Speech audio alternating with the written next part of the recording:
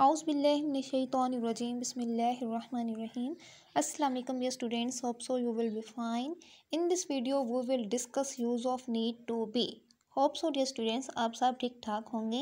आज के हम अपने इस वीडियो में देखेंगे use of need to be हम नीड टू बी को किस लिए यूज़ करते हैं, इसके साथ हमने कौन सी वर्ब के फॉर्म को यूज़ करना है और टेंसेस में हमने कैसे चेंजेस करनी है, ये आज हम सब देखेंगे अपने आज के इस वीडियो में with simple and easy examples जी तो फ़र्स्ट नंबर पे हमारे पास है need to be need to be का इस्तेमाल मरम्मत या बेहतरी के लिए किया जाता है। किसी भी चीज़ की मरम्मत या बेहतरी करने के लिए हम नीड टू बी को यूज़ करते हैं। जैसे जूतों को पॉलिश होने की ज़रूरत है, घड़ी को मरम्मत होने की ज़रूरत है, ठीक है? तो इन दोनों सेंटेंस के लिए हम क्या यूज़ करेंगे? Need to be need to be का इस्तेमाल मरम्मत या बेहतरी के लिए किया जाता है और इसके साथ हमने वर्ब की थर्ड फॉर्म को यूज़ करना है और इसका इस्तेमाल तमाम ज़मानों के साथ किया जाता है, लेकिन तब्दीलियाँ ज़माने के मुताबिक होगी, ठीक है? प्रेजेंट पास फ्यूचर जो भी है, तब्दीलियाँ जो होगी टेंस में चेंजेस जो होंगी, वो ज़मानों के मुताबिक होंगी।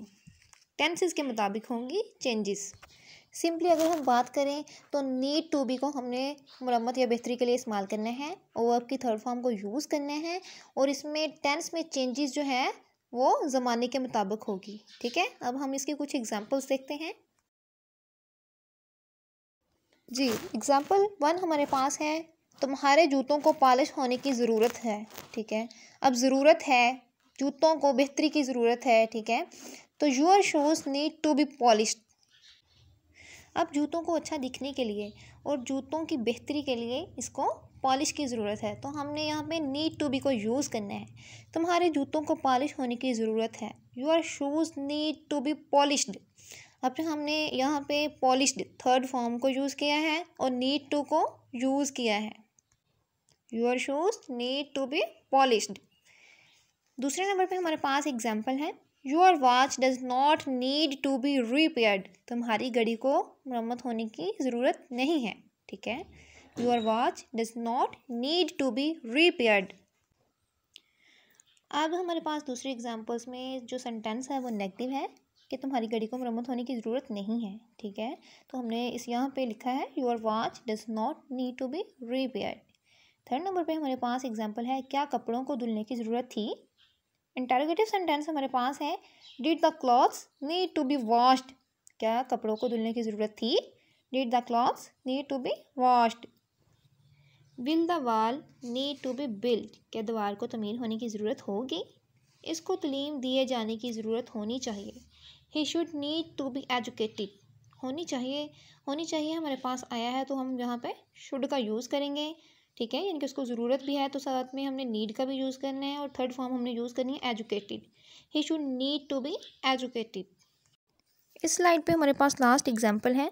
गाड़ी को धुलने की ज़रूरत हो सकती है। The car can need to be washed the car can need to be washed ji next example हमारे पास है। हो सकते हैं खत को दस्तखत होने की ज़रूरत हो। The letter may need to be signed क्या फूलों को सजाने की ज़रूरत थी? Did the flowers need to be decorated क्या फूलों को सजाने की ज़रूरत थी? Did the flowers need to be decorated किसको दावत दिए जाने की ज़रूरत है? हु नीड्स किसको ज़रूरत है? Who needs to be invited मकान को साफ़ किए जाने की ज़रूरत है। The house needs to be cleaned मुसलमानों को मुतहद होने की ज़रूरत है। The Muslims need to be united. Last example हमारे पास है, इस्लामी कल्चर अपनाए जाने की ज़रूरत है। The Islamic culture needs to be adopted. The Islamic culture needs to be adopted.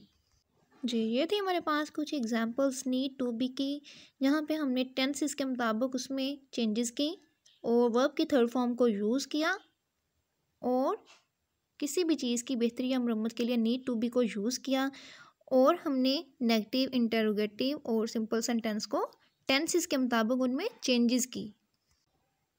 Hopes सो आपको अच्छे से समझ आ गया होगा। Thanks for watching take care अल्लाह हाफिज़।